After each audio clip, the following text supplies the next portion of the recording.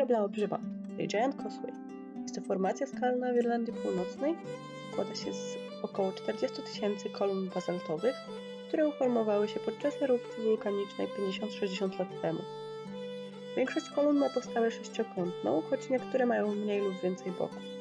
Najwyższe mają 12 metrów, średnia szerokość bazaltów wynosi około 46 cm.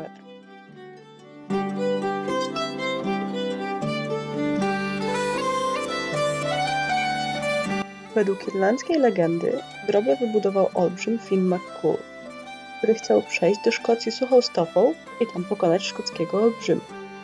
Jednak kiedy zorientował się, jak duży jest rywal, szybko uciekł do domu i poprosił żonę o pomoc. Ta pomogła mu się przebrać za dziecko i kiedy szkocki olbrzym przyszedł po Finę, ta pokazała mu łopaskę.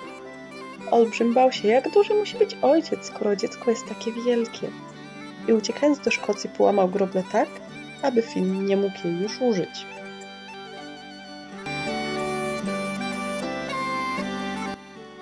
Na terenie grobli można zobaczyć różne elementy z legend. Na przykład wielbłąda, którym olbrzym rzekomo wracał od żony, kiedy długo zabawił z lokalnymi, buta, którego zgubił uciekając przed szkockim olbrzymem, babcie Fina i inne podobne.